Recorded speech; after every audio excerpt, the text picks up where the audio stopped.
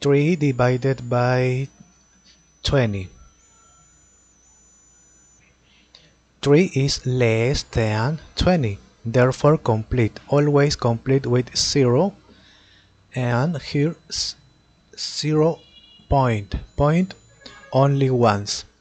30 is not less than 20, therefore with 30. 20 multiplied by what number is nearest to 30 multiplied by 2 is 40 excessive. Multiplied by 1 is 20 the nearest number.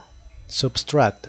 Subtract is 10 there is not number that goes down, therefore complete. Always complete with 0. Point is here. 100. 20 multiplied by what number is nearest to 100?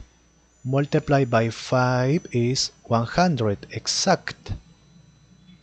Subtract 0, 0, therefore finish therefore here. Okay